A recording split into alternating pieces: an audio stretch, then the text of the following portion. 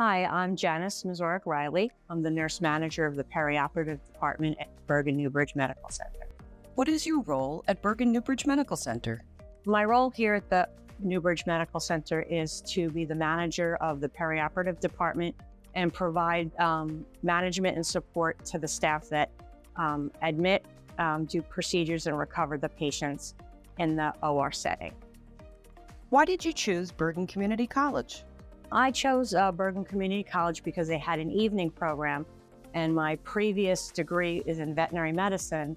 And I knew that I could continue to be the clinical coordinator of a hospital in Rockland County and still get a really, really good education in the evening so that I would not have to stop working to get a further education in another field. What did you study at Bergen Community College? At Bergen Community College, I studied um, nursing, evening nursing, um, an associate's degree. Um, and within the structure of the curriculum, we had phys- uh, anatomy, physiology.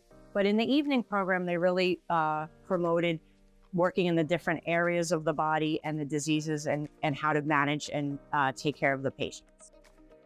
What was the most important part of your experience at Bergen Community College? What I really appreciated about the Bergen Community College program for nursing was that they had a really good body of adjunct professors that worked in the field during the day and in the evening taught and were able to bring their real life experiences into the educational aspect and also the different sites that Bergen offers to do your internship, externship experience.